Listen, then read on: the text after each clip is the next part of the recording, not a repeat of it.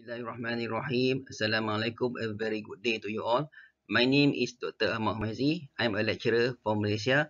I have skill to do uh, research methodology and I have a skill to find facts from uh, uh, from from many various journals. Uh, and now in this video research potential series, uh, I'm in this video I make a video for microwave heating. Okay, potential research for microwave heating. You can see my other videos in the YouTube channel. Uh, you can subscribe in the YouTube channel.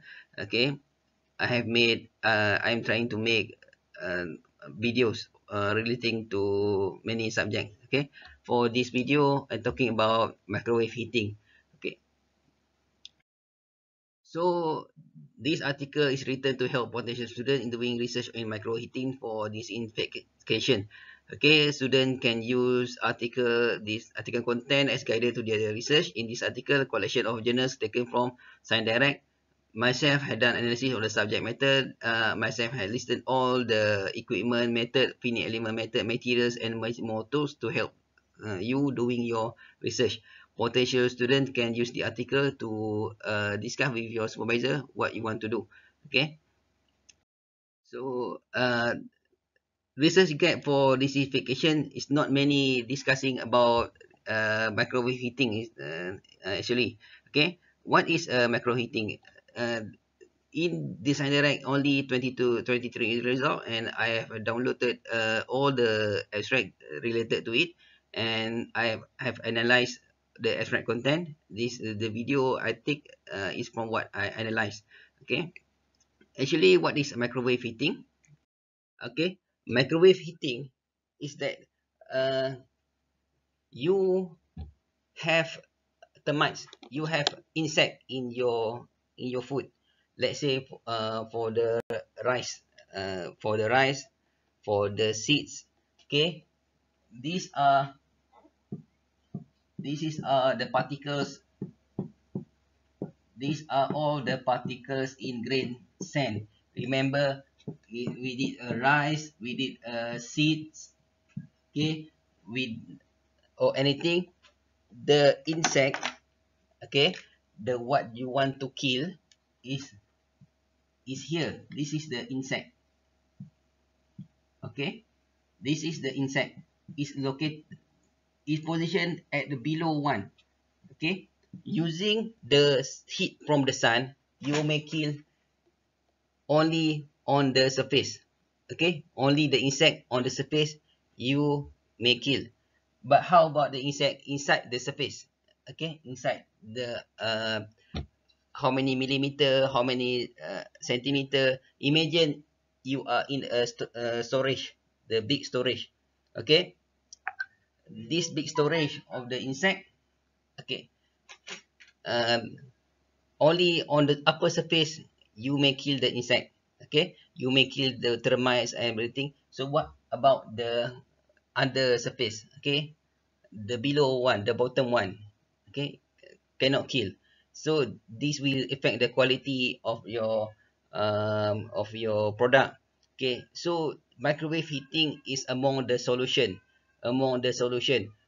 The problem about microwave heating is that uh, if you do it uh, uh, more uh, microwave on it, maybe the seed, the rice will damage. You want to kill the insect, suddenly you have to kill only the uh, the protein, the the quality of the rice that you want to protect. This is uh, among the problem that uh, challenges for the students okay? So this uh, i analyze from all those uh, all those papers and this is some of it okay?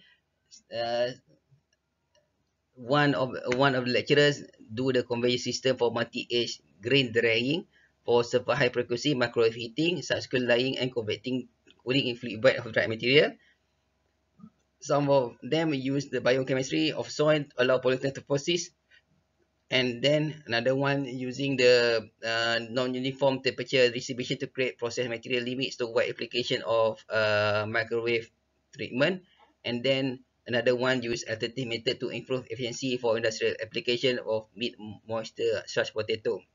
This is what they have done. Okay. Now we're talking about the problem statement. Okay, this is the problem that you may want to do. Okay, it uh, maybe this problem is related to what you are uh, dealing with. Okay, just take a note. Micro treatment does not kill all insect. However, number of offspring decreased by 75%. Bribing insect of, of wheat could be alternative method for uh, insect designification. Okay, so micro treatment is the problem. You cannot kill the insect. Okay, but you can kill the babies. Okay, 75%. So imagine uh, te technology mentioned here can be developed early 21st century 20th century however they are not related to any large scale. So uh, such as scanning or heat pasteurization. Commercial heat sterilization uh, has been used in for decades to produce safe foods. However, however this technology can have potential uh, detrimental effect on this natural quality of foods and then fruit powder appreciated uh, are appreciated worldwide and enable foods to preserve or for extended period without significant loss of quality. Okay. However, its evident development of resistant microbial spore and viable microbial cell is a matter of concern. Uh, this is among the problem that uh, those researchers have encountered. Okay. And these are the research objective that they they want to do. Maybe the fact I given here I, that I collected from the those journal is related to you. Maybe you want to do this kind of research. Okay. Uh, want to test the new, technology to reheating baked foods. Okay. Using radiation. Okay. Evaluate the effect of temperature. Investigate temperature distribution impact bed of cordella seeds. Uh, study the possible application of radio frequency RF energy for this impact may rise without affecting product quality uh, develop and reduce the cold spot area and improve uh, radio frequency heating uniformity in high mid potato starch. This is among research and this is what you should expect to happen uh, in your result. Meaning that uh, by analyzing all the extract from the, those journal, you may have some idea the end product that from your research. Uh, some of it, some of the extract shows that uh, process effective to reheat sample, providing attractive sample to consumer. Regression method uh, established within microwave radiation. Okay, a artificial neural network methodology can precisely predict experiment data with high correlation efficient. Okay, and uh, for the heating rate insect, uh, this result will be the heating rate of insect was 1.4 times greater than soybean this validated simulation demonstrate the price, uh, placing in insect of spot each layer or horizontally and insect and large insect may cause less selective heating within the insect bodies. Okay, this is among the expect uh, uh, expected result. Uh, I should mention that artificial neural network is the most uh, mentioned in those uh, journals. Uh, you may consider using artificial neural network uh, yourself. Okay in doing this uh, kind of research. Now, we're talking about uh, the tools, the equipment that people have used in this kind of research. For your research, you may use the same thing. Okay, you may use the same thing or you may use the better thing. That now I have listed all that that I have analyzed uh, from those journals.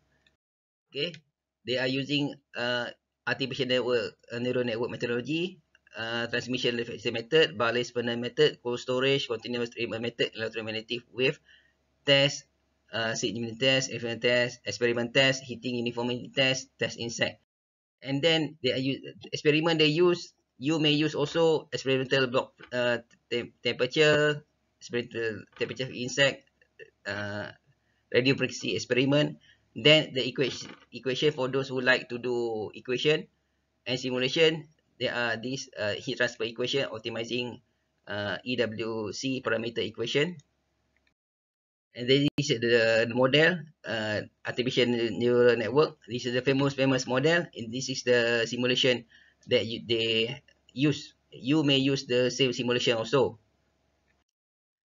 this is the properties that uh, you may want to do this property the electric property in anti-inflammatory properties nutritional properties organoleptic properties sensory properties sensory analysis for viscosity analysis and uh, many more okay the technique they are using the transmission reflection line technique thermal and non-thermal technique And then the equipment they use, radio frequency equipment, Burles Fresnel method, hydrostatic pressure, ultrasound, microwave, and radio frequency treatment. And all uh, those are all that I have listed. And this is the list of abstract. There are many more. And also for the equipment tools in the research methodology part, there are many more. Uh, students, serious students who want to do this kind of research, you can download the uh, full document that I have written in Microsoft Word uh, in the link in this description uh, below this video. Uh, okay, I hope for the best. Uh, God willing, inshallah, you uh, you can do this research. Remember, doing master, doing PhD is not that easy, but it also not that hard. Uh, with proper method, okay, with proper method, you will know what you want to do, experiment to do with this video, it may help you some. Okay, some it may help you uh, because you will not miss any experiment, any method, any equipment. Okay, uh, I hope for the best. Okay, so see you in the next video uh, on another topic of uh, research potential. Thank you very much.